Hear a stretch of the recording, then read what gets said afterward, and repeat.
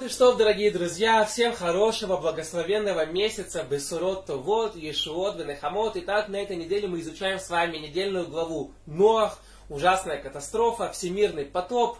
Люди стали духовными варварами, духовными такими вот дикарями, разврат, грабеж, нарушали все законы, которые только можно нарушить. И Всевышний говорит, ребята, вернитесь ко мне, вот Ноах, я сейчас строю ковчег через него, сделайте чуву, будет потоп. 120 лет им дали возможность измениться.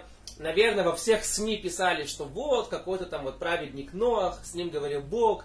Вы знаете, может, обратитесь к нему, поговорите с ним, почему потоп, что сказал Бог.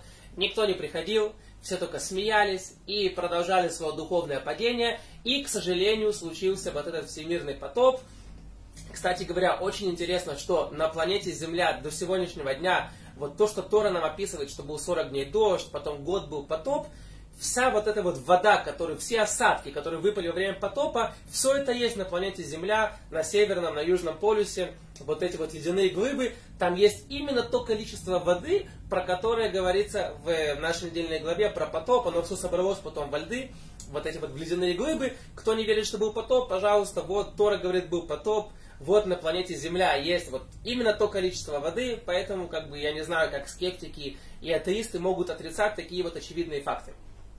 Итак, потоп, все умирают, 120 лет им дали возможность вернуться, никто не хотел возвращаться, даже один не вернулся, вернулся бы один, все были бы спасены, но, увы, никто не хотел делать шуву. Я бы хотел обратить ваше внимание на такой очень интересный момент. Итак, Нох с его тремя сыновьями, сыновьями женами идут э, в ковчег, Всевышний чудесным образом собирает всех животных, они все пришли, все поднимаются, все остальные погибают, и вот остается один ковчег, одна такая большая, такая вот большой такой Титаник, который не потонул, в отличие от Титаника. И что же там происходило?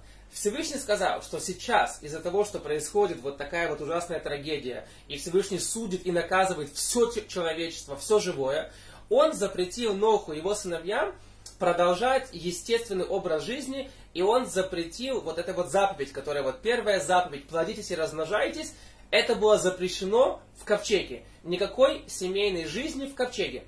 И у Ноаха был сын, его звали Хам, один из трех сыновей. Он это э, запрет, вот это прямое указание Всевышнего не заниматься семейной жизнью ни, ни в коем случае в ковчеге, он это нарушает, и он был со своей женой.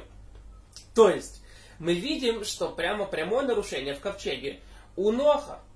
Как бы повел бы себя, может быть, обычный отец? Он бы сказал бы так, у меня есть три сына. Два праведника, я праведник, и один сын, он грешник, он нарушает прямые приказы Всевышнего. Может быть, стоит мне сделать еще какой-то быстренько подсуетиться, построить маленький ковчег, и Хама с его семьей выгнать от нас – они же могут плохо на нас влиять. Но мы знаем, что Нох так не поступил. Почему он так не поступил? Потому что кроме вот этого хэшбона, кроме вот этих важных мыслей о том, что вот этот хам, он может испортить других двух сыновей, есть еще один хэшбон, есть еще вот одна важная вещь, о которой нужно подумать. Ведь если хам останется с нами, есть вероятность, что мы его исправим. Он находится в хорошей компании, он находится в кошерной компании. Поэтому Ноах принимает решение ради спасения Хама, чтобы он еще хуже не испортился в духовном смысле, в смысле того, что нужно понимать, что если Бог что-то говорит, это очень серьезно, и нельзя эти вещи нарушать, он оставляет Хама с другими двумя сыновьями, чтобы дать возможность Хаму исправиться. Очень-очень важный урок. Если мы хотим кого-то из наших знакомых перестать с ним общаться, потому что он плохо влияет, конечно, это очень-очень важно, и это очень правильная мысль. Мы это учим из Сары. Сара выгнала Агари Ишмаэля, сказала, он, он портит моего сына Ицхака. И это было правильное решение, с которым согласился Всевышний. Нужно выгонять из нашего общества людей, которые плохо на нас влияют. Но нужно не забывать, и это мы учим из Ноха, что если его влияние не настолько сильно, а это нужно очень-очень э, ощущать, распознавать, насколько он влияет.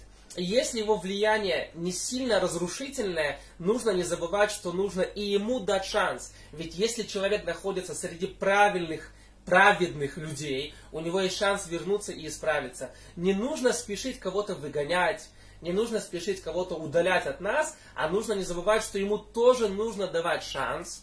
И этот шанс Нох предоставил Хаму, хотя впоследствии мы видим, что Хам не исправился, а наоборот начал делать еще более худшие, худшие э, грехи. И то, что дальше написано, когда они вышли из ковчега, он стал грешником, потом он был проклят, к сожалению. Но Ноах хотел дать ему шанс. И нужно не забывать, что даже если человек находится просто в хорошей компании, он просто пришел в синагогу, он не молится, он не учит Тору, но уже есть влияние святости на него, и у него есть награда за это, и нужно стараться давать шанс людям вокруг нас, чтобы они тоже могли подниматься и расти. И это говорят наши мудрецы, простой пример. Точно так же, как я захожу в парфюмерный магазин, в магазин, где есть много разных видов духов, когда я выйду, я все равно буду пахнуть этими духами, даже если я ничего себе не купил. Сам факт нахождения в хорошей э, компании, оно уже на тебя влияет, и дай Бог, чтобы оно исправило всех тех, кому нужно исправление. Вот такой вот важный урок мы видим из поведения Ноха и Хама. Он его не выкидывает, потому что его влияние, наверное, было не настолько сильным, чтобы опасаться, что он испортит двух сыновей, но дать ему шанс – и возможность на него повлиять, Нох это сохранил и оставил его в ковчеге. Спасибо большое за внимание. Всем ходы штов. Дай нам Бог всем расти духовно, влиять на других духовно, и чтобы мы все вместе поднимались вместе ко Всевышнему. Спасибо огромное.